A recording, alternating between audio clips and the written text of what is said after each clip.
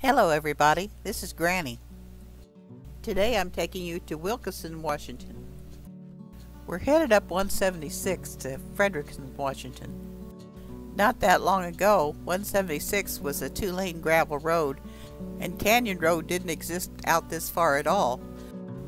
Frederickson was a very small, out-of-the-way place, but in 1991, Boeing bought property here.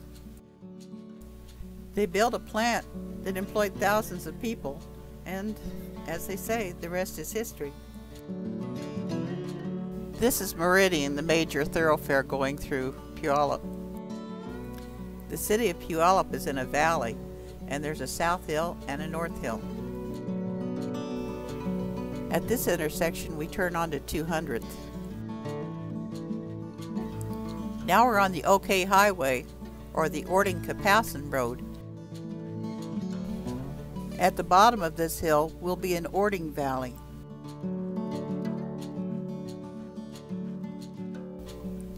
And here we are in Orting, Washington.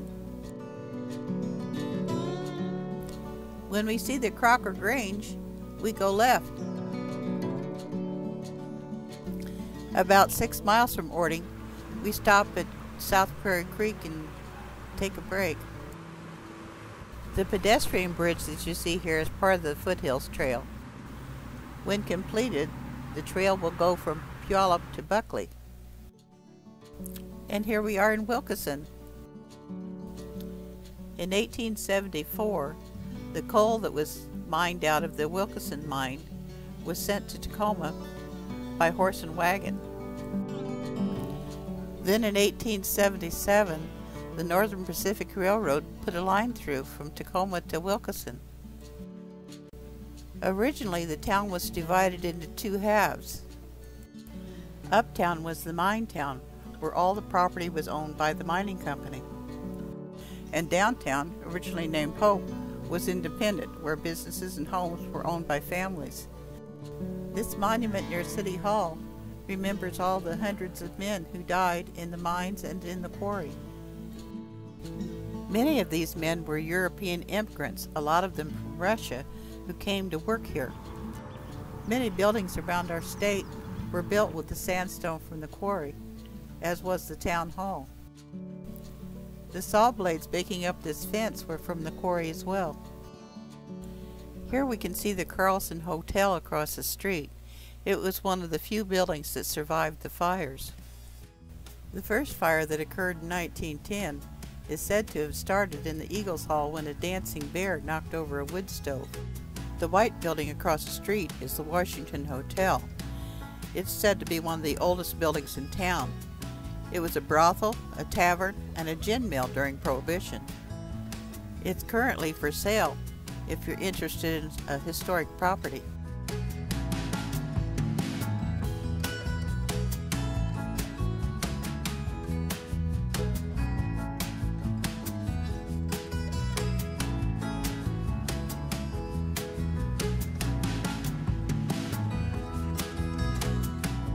The school was also built with Wilkeson sandstone, and it looks like it's undergoing another renovation. But it's the oldest school in the state that's still in use. These are the beehive ovens that they use to turn the coal into coke. Coke is a high quality product that they use in foundries for making steel. The third weekend in July, they use these tracks to have handcar races. And of course you can't go to Wilkeson without dropping by the castle. Another historic building is the Holy Trinity Orthodox Church, built in the 1880s by Russian immigrants.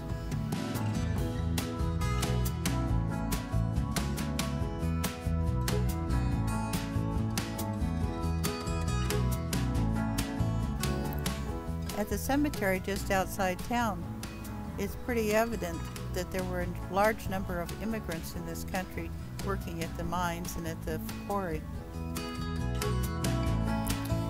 We enjoyed our trip to Wilkeson. I hope you did too. But it's time to go home now, so I'll see you next time. Goodbye.